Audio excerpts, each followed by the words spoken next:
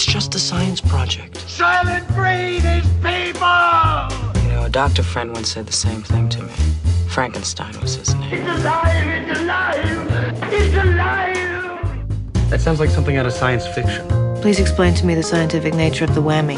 We live in a spaceship, dear. So? Yes, science! Program complete. Enter when ready. Hello and welcome to episode 339 of Science on Top. We are back for another season. Today is Monday, the 9th of September 2019. I'm Ed Brown and I'm joined by Penny Dumsday Hello. and Lucas Randall. Hey. You can always go to scienceontop.com slash donate if you want to become a Patreon and contribute financially. We are currently in the process of hiring someone to manage guests and bookings, so hopefully we'll be able to have lots of new and old voices joining us in the future. So your Patreon contributions are helping keep us going, but also helping to make the show bigger and better. So a big thank you to everyone who chips in. Much appreciated. But let's begin with a pretty high profile news story that I think has not been very well covered in the mainstream media. Many of you may have seen the headlines or heard the snippets. A 14 year old British teenager has gone blind because he was a fussy eater who only ate junk food. And predictably, lots of people were quick to condemn the teenager, his parents, society in general. But this isn't a simple story of a bratty teenager who didn't like his greens, is it, Penny? It's not. And I mean, you know, a lot of the headlines were clickbait, and I took that bait and clicked it. And I was reading, I'm like, oh, you know, he only ate white bread, ham, and sausage, um, this and that. I was like, oh my gosh, oh my God. They're all oh photos blind. of chips and yeah, French fries chips and stuff. and yeah. everything. And then you read a bit more, and it turns out that this boy has quite a severe eating disorder, and that it seems like probably that eating disorder wasn't recognized very early and wasn't treated in a way that an eating disorder, you know, is actually going to be helpful. Hmm. So the way the story was presented is that, you know, poor diet, he's just eating whatever, um, you know, all this really limited range of junk foods. His parents are just letting him, um, blah, blah, blah. Now he's blind because he's deficient in vitamin B12. By the way, some of the articles said, if you're a vegan, like, look out, you might go blind too because Well, actually, no, that, that came know. from the, the paper that this this is based on a one case study. Yeah. So um, Yeah. we don't have a lot of information, but yeah, I think in that paper they actually had a little stab at veganism. Yeah. Um, they said the condition could become more prevalent in future given the widespread consumption of junk food at the expense of more nutritious options and the rising popularity of veganism if the vegan diet is not supplemented appropriately to prevent vitamin B12 deficiency. which I think most vegans I know are actually pretty They're conscious really and aware yeah. of that, you know. Anyway, and so a lot of the comments you see on sites are like, "Oh, you know, in my day, kids just ate what was put in front of them, Mm-hmm. and we didn't have chicken nuggets, and blah blah blah blah blah, and parents these days, and yada yada." So it was really interesting to read a bit more about this and read about what was actually going on. And so this child has an eating disorder known as avoidant restrictive food intake disorder. This is not being a fussy eater. This is not me going, oh, you know what? I don't really like broccoli and I don't really like squash, so I might have something else instead.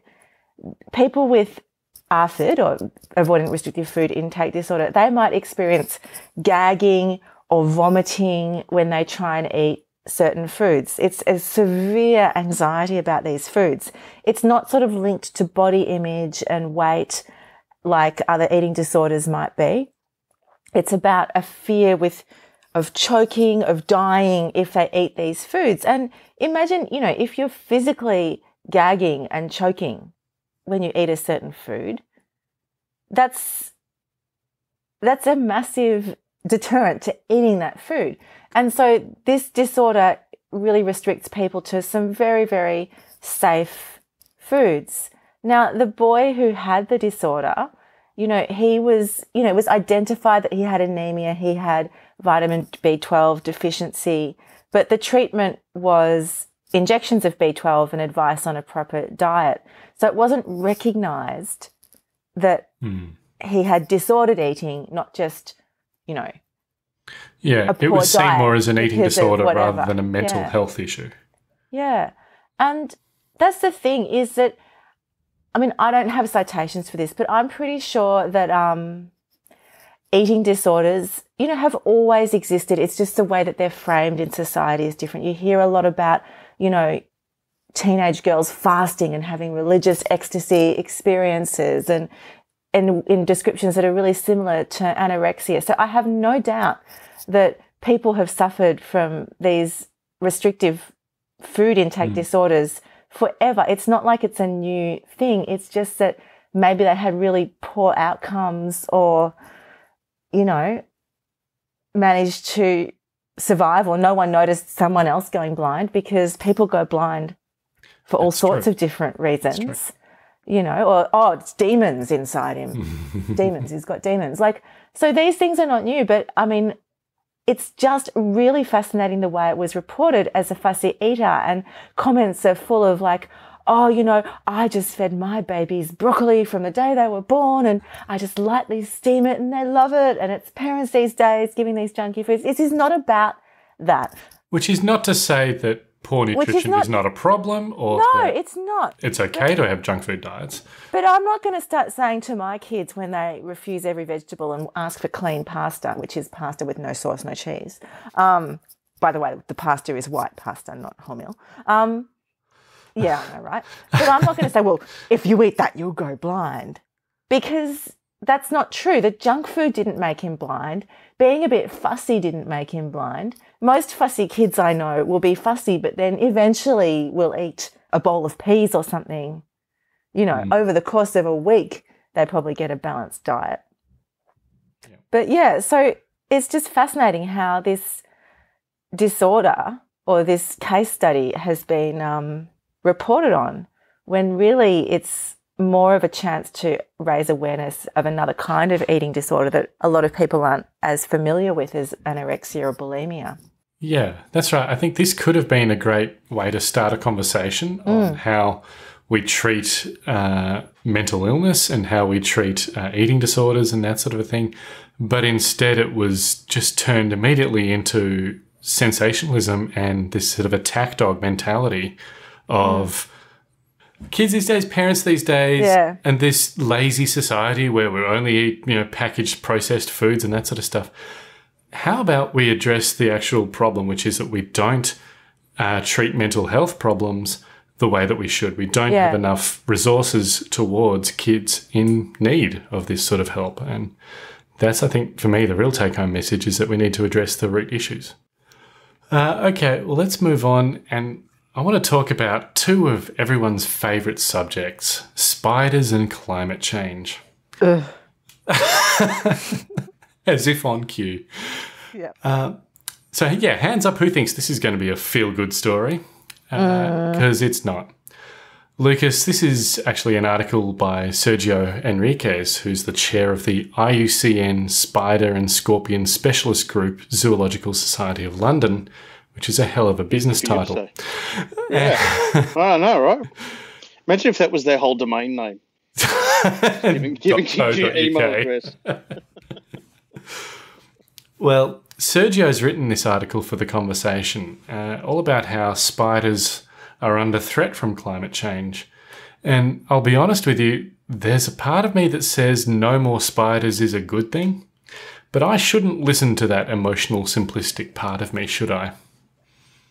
It's so tempting to think that. I was watching, I, I just had the TV on in the background on the weekend because I was doing some work for, for stuff. And, and just I kind of looked up and there was a show that had come on that was like the, some guy who's like, he goes around catching venomous snakes and so forth.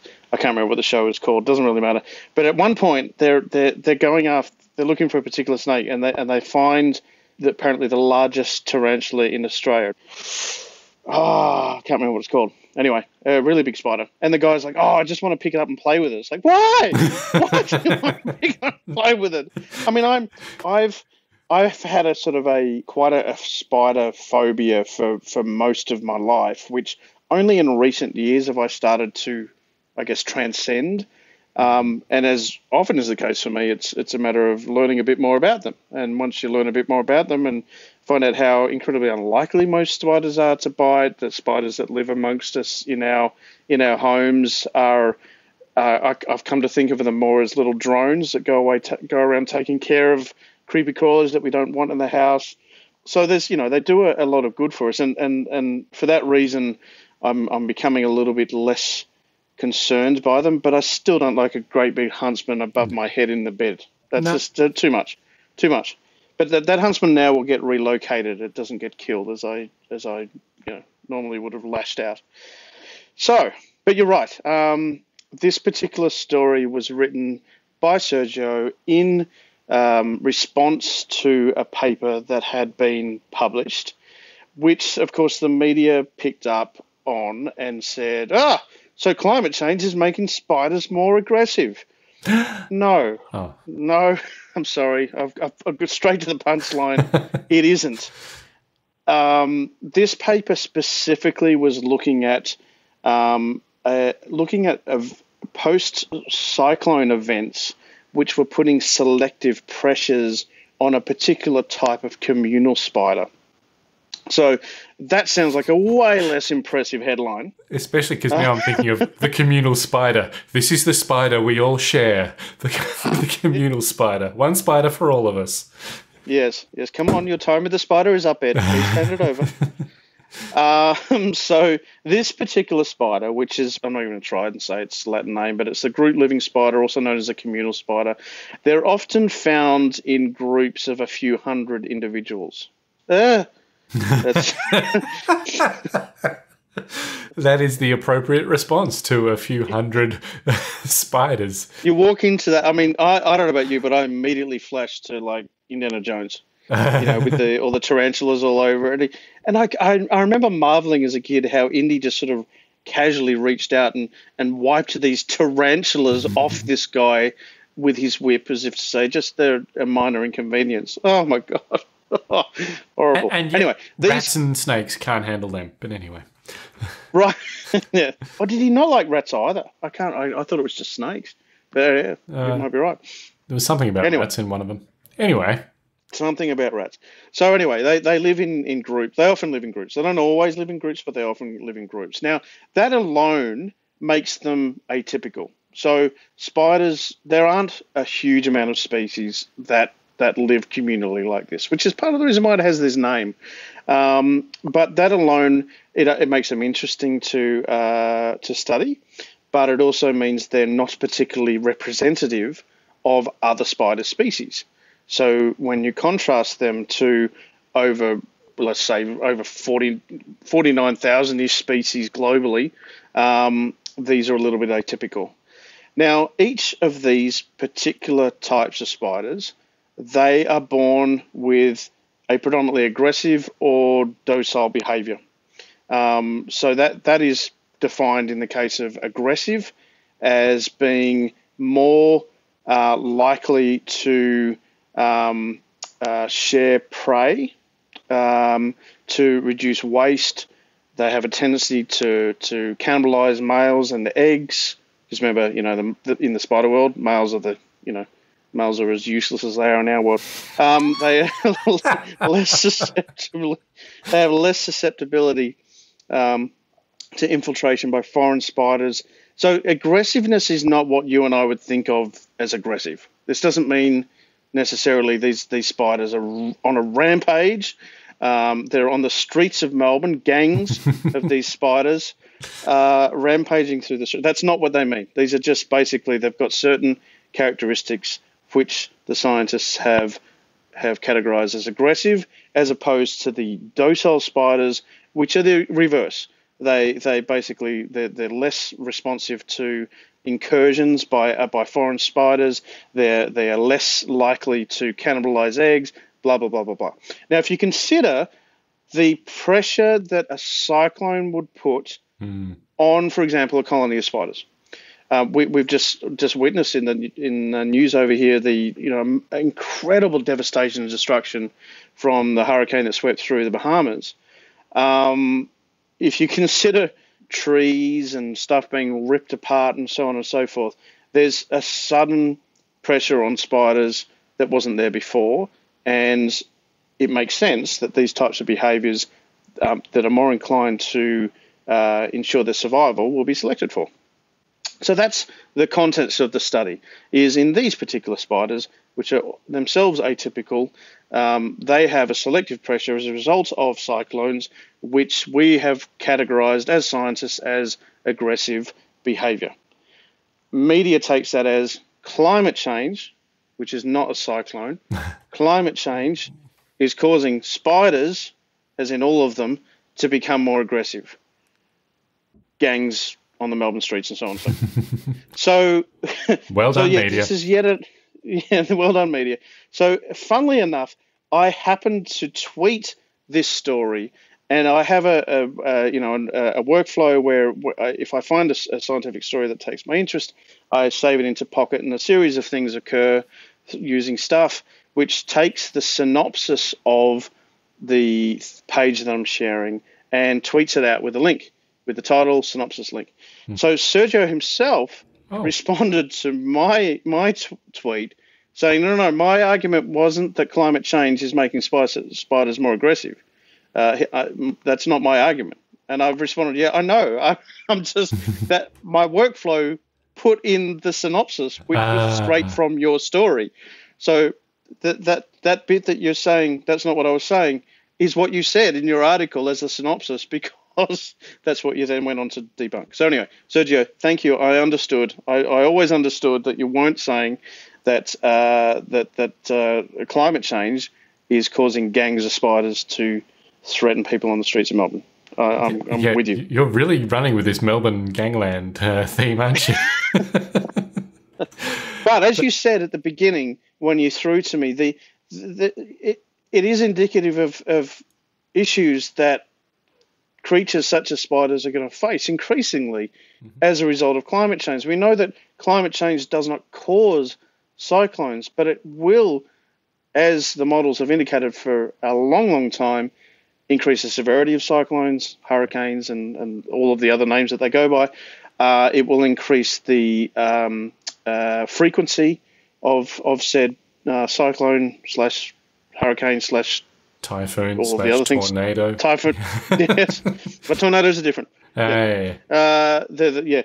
but so so these things are going to impact all sorts of species, spiders included, and spiders is a is a slightly worrying one, which is what Sergio went on to explain that if we take out spiders, if we take out you know significant numbers of spiders, no matter what their species, that does actually directly imp- impact us because spiders are so important for controlling so many insects and so many other things that we would consider pests, particularly if they're in the numbers that they would become uh, without prey. So it is a problem. It's just not the problem that the media, you know, ran with. Although, when you put it like that, so there'll be more insect pests and things when we're also moving to a eating insects society and we've been encouraged to eat more insects, I don't know. Maybe it's still a good thing. I'm please hope I want it to happen. No. it's yeah, it's funny you mention that because I was thinking about exactly that the other day because I was reading a story about a new there was an exhibition or or an event or something or other where people could um, could access uh, insects from vending machines at the event it oh. may have been in Melbourne, or I may be misremembering that, but it was just in the last week or so, and it was showcasing the future of protein. Basically, it was like, well, you know, we as a Western society need to kind of get over our ick factor mm-hmm. and and learn to sort of embrace these things. And I was wondering as I was reading, it's like, oh, that, that's great, but what about on if you if you scale up to an industrial level of producing these types of yummy treats mm-hmm. um, that are that are that come from insects. How well can we actually do that in terms of the sheer numbers that are involved to replace, you know, beef, for example? as as a as a as a fairly significant source of protein in society, in Western society. I don't know. It's it, it made me wonder. We can achieve a lot when uh, there's money on the line, and if you can create a market for it, we'll create a way to farm them. Yeah. So apparently, people were saying who were eating these treats from this, uh, the, you know, these vending machines at this event, um, they were just shocked at just how tasty these things were. It's mm-hmm. like, yeah, as long as you, I mean, you, you know cognitively you are eating beetles or whatever, but um, this really tastes quite nice, whatever it is that I'm eating. It's well in the preparation, I think. I wouldn't eat a raw cockroach, but, you know, a lot of them mashed together into a sort of a hamburger patty and with a good sauce. Yeah, go for it. Sauce is key. Sauce is always the key. Except if you're Penny's children on their pasta. So no, clean, clean pasta. All right. Oh, I never thought I'd say today. Anyway. so okay, yeah. So the spiders, we should be more afraid for them than afraid of them as climate change yes. worsens. Sobering thought. But I still don't want them in my house. Uh, let's move on now to Hawaii, and specifically the volcano Kilauea on the island's southeast coast. And it's been erupting almost continually, I think, for decades now, until about this time last year when one of the craters collapsed, causing the lava lake inside to drain out. And so for several months now, the Halemaumau crater has been empty until a few weeks ago when an observation flight spotted something green on the bottom. What was it, Penny? Uh, well, that's the suspense. oh, fine. Um, no, something I always find interesting about volcanoes is it's actually really hard to study them. And every time I've watched a documentary on volcanology, it's always dedicated to the memory of one volcanologist mm. or another because you can't just go, oh, okay, let's just walk down and take a sample of whatever this green stuff is. It can't even, it wasn't even an easy thing to like fly a drone over to see what it was because of all the winds and the um, mm. air currents, plus cultural considerations, natural park regulations, and so on. So people flew over this for a couple of times, this green deposit at the bottom of the lake, probably at the bottom of the crater, probably a water lake. But you know, could it be a optical illusion or a chemical deposit until a flight saw re- reflections and ripples in it. We just weren't sure. But it turns out it is water, and that is interesting because where did the water come from? There's two possibilities. It could have been from rainwater, in which case the lake would be quite shallow, or it could be from groundwater, so rising subsurface water. And that's really important because the way that the lake's formed lets us get an idea of what might happen the next time that Kilauea erupts. So, if it was rainwater, it would be probably quite shallow, and the heat of the lava coming up would essentially just boil it off. But if it's groundwater, then it could be really, really deep, and there could be a lot of saturation of the rock in the water table meters below, like tens of meters below the surface. And that is interesting because lava and water interact in really exciting ways. So it depends it depends on the situation. So like for example, underwater, if lava flows come out quite slowly underwater, you get these great pillow basalts and so on. So it can shape the lava. But when it's happening in the context of a volcano, it can make for some really explosive conditions. So, what might happen is that when it does erupt and the lava that in a dry condition would have a beautiful, typical sort of fiery volcano, it might actually um, essentially boil up its lake instead of just erupting. But boiling the lake creates all this steam, which are making really, really um, powerful explosions that can blow a lot of ash into the air. It can cool down the lava really quickly when it hits there, so make little chunks of lava that would be cooling and getting shot around and so on. So, the where this lake has come from is actually quite interesting. and it probably is a groundwater lake. Um, so it's probably coming from water that's rising below the surface. And like Ed said, it's because um, the crater collapsed. So the lava lake that was there before, so your typical thing that you imagine in a volcano, like a lava lake, drained out.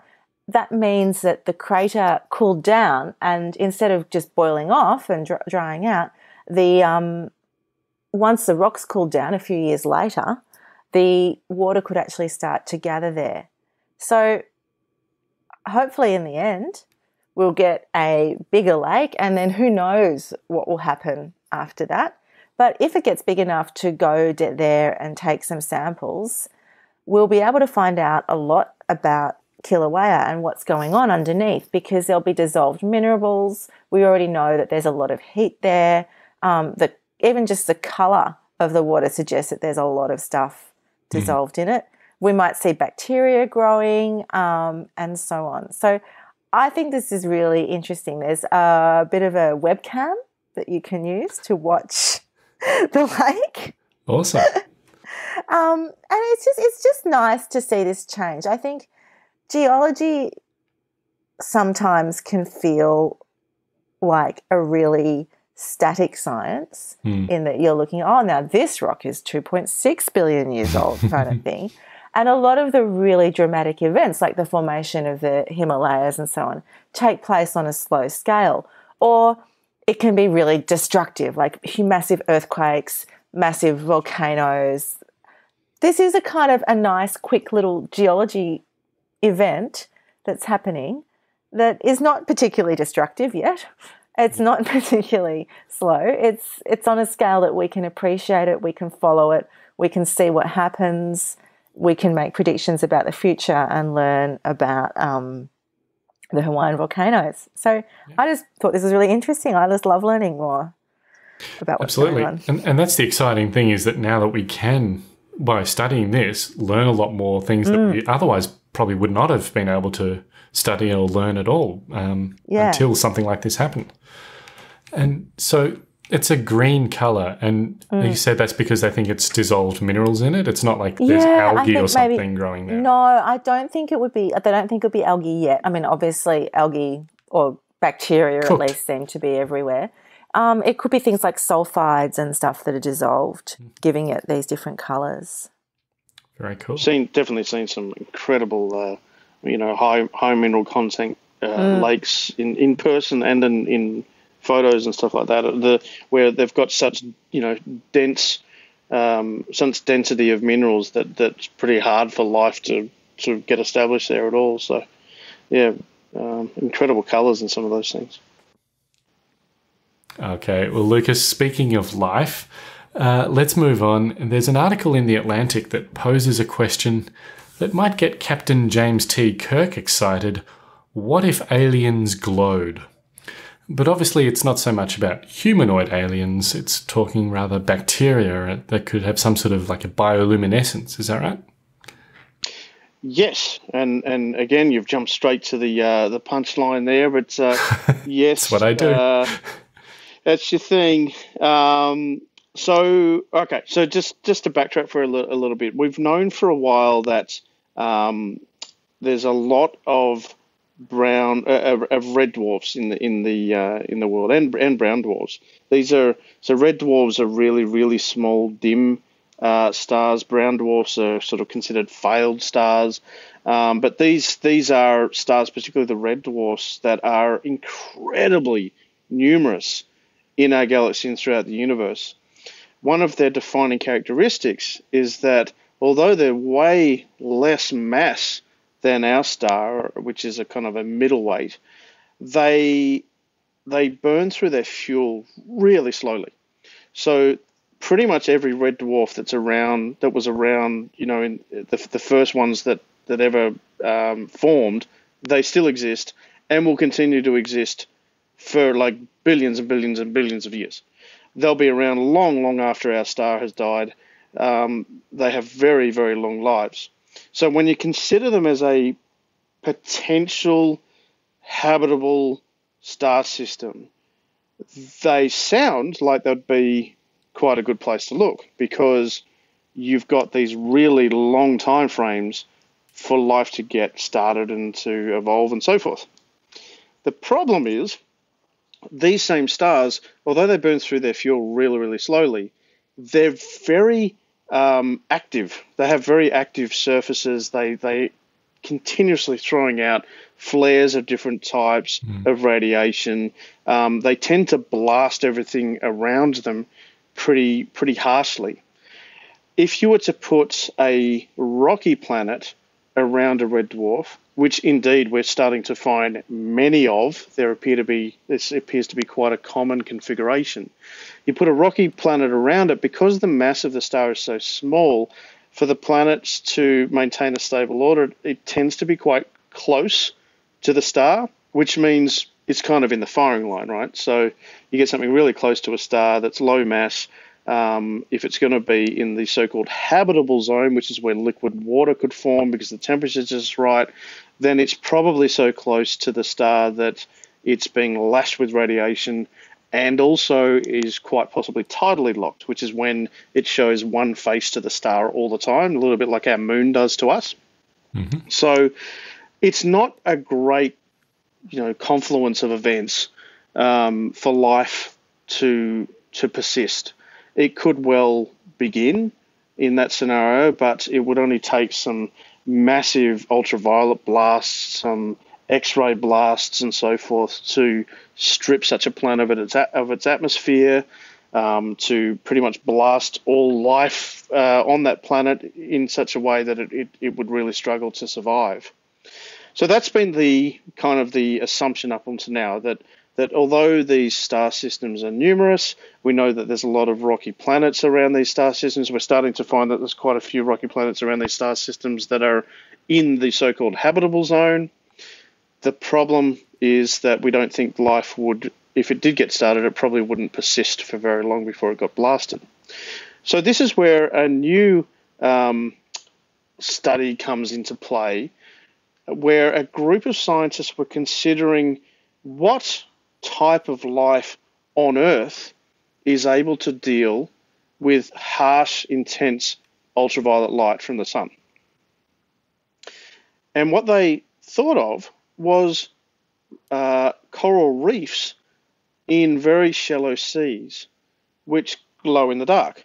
So these are using what's called bioluminescence. Um, so what they do is they effectively absorb the sun's rays, they absorb the ultraviolet, and they immediately they immediately transform that light and re-emit it as visible light. And in so doing, they are themselves effectively immune to damage from ultraviolet light. Isn't that cool? It is very cool. So, if we have such life forms on Earth, then this may well be an indication of the type of life that could potentially establish, establish itself on such a planet as in fact is in orbit around Proxima Centauri. So Proxima Centauri is one of the closest neighbors to us.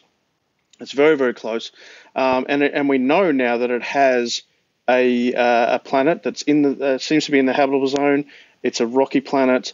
Uh, it's it's known as Proxima Centauri b, and basically it, for all intents and purposes, is the closest planet to us.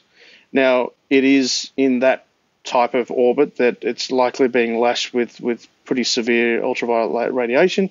But if it did happen to uh, be able to maintain some liquid water on the surface, and that's a very big if.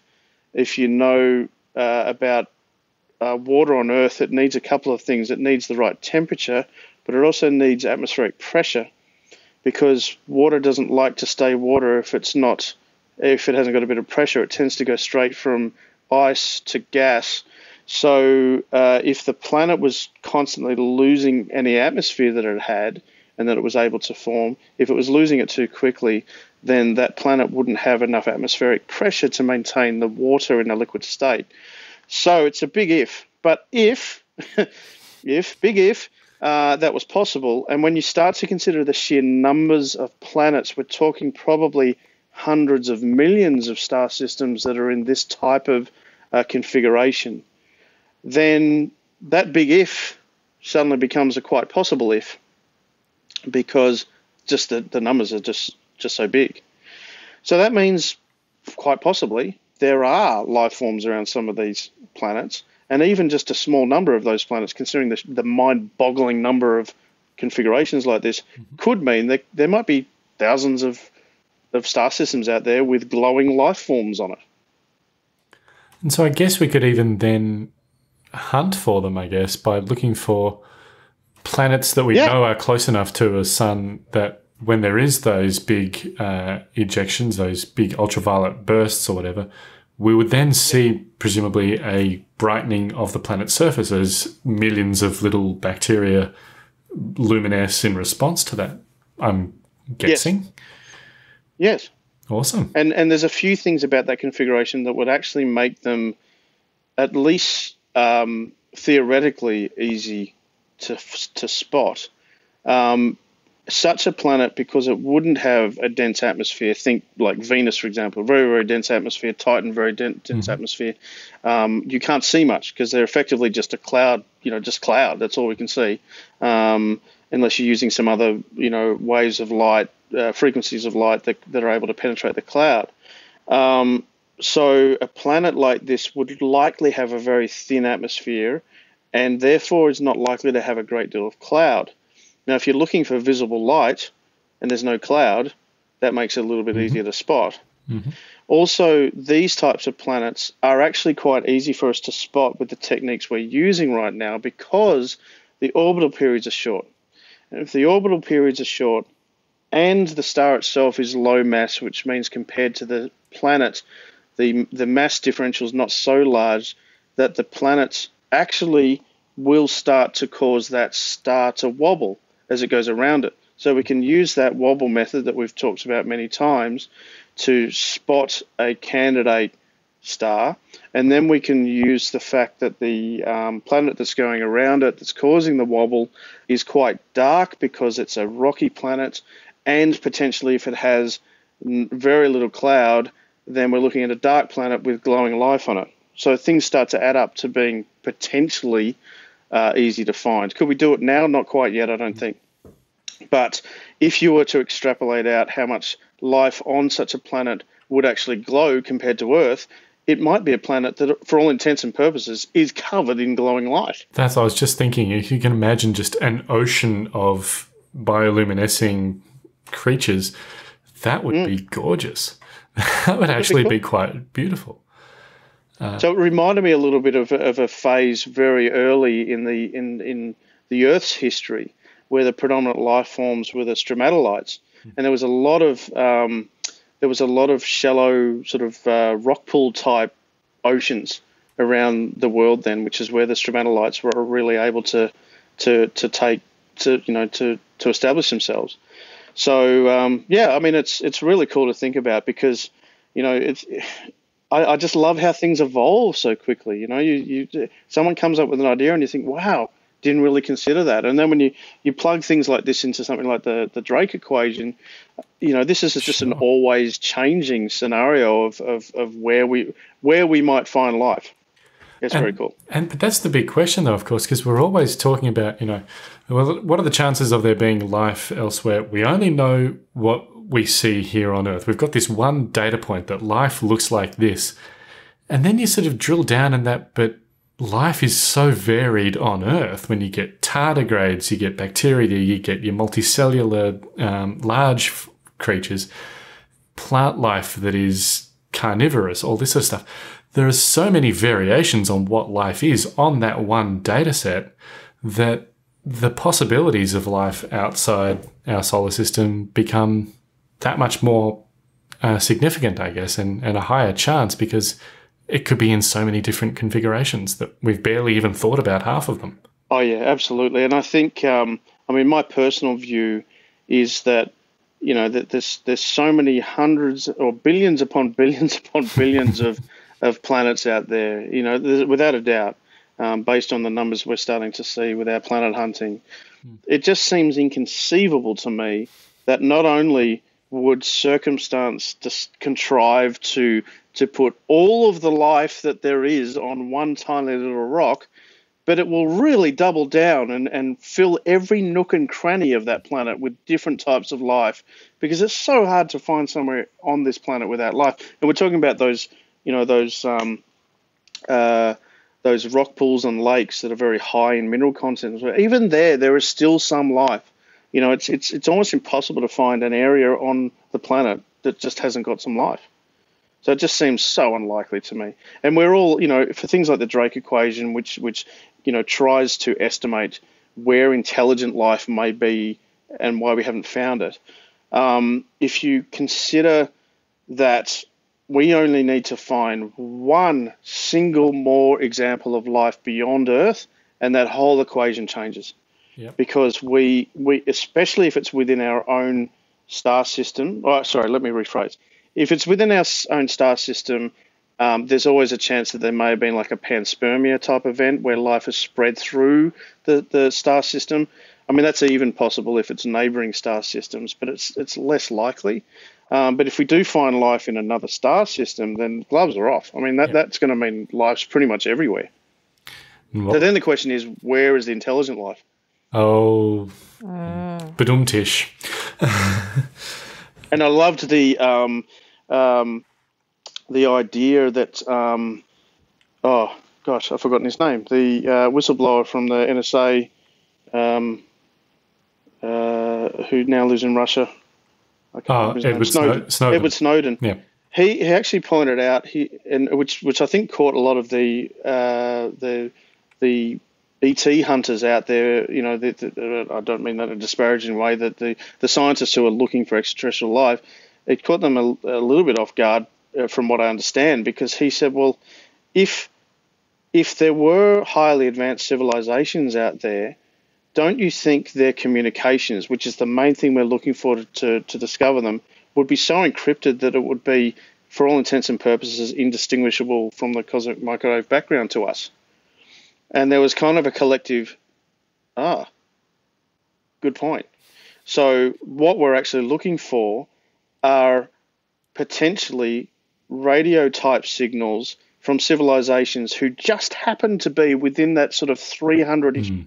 year period where they were using radio frequency transmissions to communicate you know because beyond that we've already moved we, have already moved beyond that largely ourselves so you know all that stuff is digital now you tune a radio into it all you hear is static so unless it's a digital radio so you know these are really cool things to think about yeah and there's no there's no easy way around it. It's just going to have to be a lot more thinking, a lot more research, and a lot more technological advances before we get any of the answers to these. But they're interesting speculations, that's for sure. More beer, more arguments. Oh, it's awesome. Just that's just what life on Earth is all about. More beer and arguments. That's, that's a window into your world, isn't it? but that brings us to the end of our show. And as always, all the links we talked about are in the show notes and on the web at scienceontop.com slash 339. A big thank you to all our Patreon supporters. We've been doing this show now for more than eight years, and that sort of staying power is really only possible because of everyone who's been to scienceontop.com slash donate and signed up to throw a few dollars our way each episode. So thank you very much for that. And thank you, Penny and Lucas. Thanks, Ed. Thanks, Ed. And thank you everyone for listening. We'll be back again next week, putting science on top of the agenda. Join us then.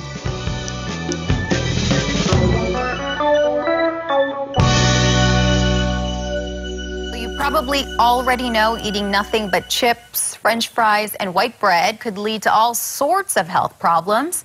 But scientists in the UK say it made one teen go blind.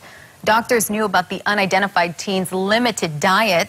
So they told him to eat better and gave him vitamin B12 injections. By the time he turned 17, he permanently lost his vision. Researchers at the University of Bristol say the lack of proper nutrition led to optic neuropathy, which affects the optic nerve. But at least one scientist says the report fails to consider other possible explanations like genetic defects or environmental exposures. Don't look at me. I Why are you looking at me for? because you don't eat vegetables. I mean, I'm Um, just saying, like that is what I've been trying to say to you this whole time. Eat better. Uh, popcorn is a vegetable. It is. You know, corn has no nutritional value, right? Never mind. Let's.